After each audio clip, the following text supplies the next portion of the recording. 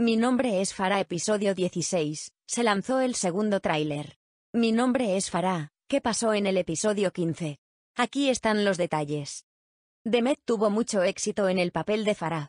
El papel fue escrito para ella. Su personaje, que nadie más podía interpretar, nos llevó a lo más profundo del personaje, su fuerza, su nobleza, su dolor, su sufrimiento, su amor por su hijo.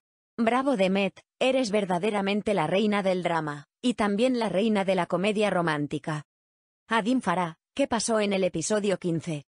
Benam finalmente encontró a Farah, quien intentó matarlo. Benam quiere asegurarse primero de esto. Por supuesto, hará que Farah, quien lo dejó más tarde y se entere de que está casada con otro hombre, le guste la muerte, y querrá hacerla experimentar el mayor dolor. Y cuando Tajir se entera de que su sueño de una familia feliz se ha hecho añicos, y que Benam está deteniendo a su esposa Farah y a Kerimsa, hará todo lo posible para salvarlos.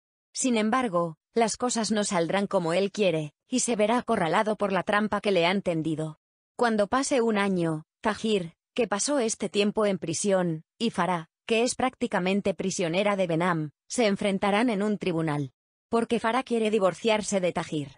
Tajir, en cambio, no logra encontrarle sentido a esto y en lugar de divorciarse, opta por resistir hasta el final, arriesgándolo todo.